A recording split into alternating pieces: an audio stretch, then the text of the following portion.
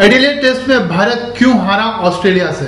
क्या रहा Adelaide test का टर्निंग पॉइंट भारतीय टीम एडिलेड टेस्ट में जीत के करीब आकर हार गई। तीन रनों के लक्ष्य का पीछा करने उतरी भारतीय पारी की शुरुआत भी इस तरह हुई थी। मानो लक्ष्य हासिल करना दूर की कौड़ी हो। लेकिन मैच में एक समय ऐसा भी आया जब ऑस्ट्रेलियाई कप्तान माइकल क्लार्क के चेहरे पर मैच हारने की चिंता दिखाई दे रही थी। ऐसा तब हुआ जब विराट कोहली और मुरली विजय के बीच साझेदारी बनी।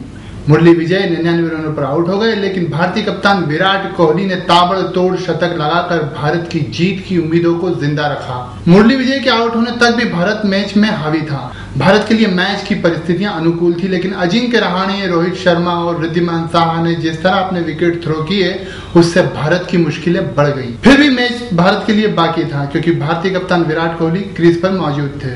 विराट कोहली का आउट होना मैच का टर्निंग पॉइंट रहा। आप कह सकते हैं कि बाउंड्री पर खड़े फील्डर के हाथों में कैच थमाकर कोहली ने अपना विकेट ऑस्ट्रेलिया को गिफ्ट किया। लेकिन दूसरे छोर पर जिस तरह से विकेट गिर रहे थे, उसका दबाव भी भारतीय कप्तान पर साफ़ दिखाई दे रहा था। उस स्थिति में तेज़ी से रन बनाना ही एकमात्र विकल्प था। यह बात और है कि कोहली ऐसा अधिक देर तक नहीं कर पाए। कोहली के आउट होने के बाद भारत की हार तय हो गई, और इसे ही हम मैच का टर्निंग पॉइंट कह सकते हैं।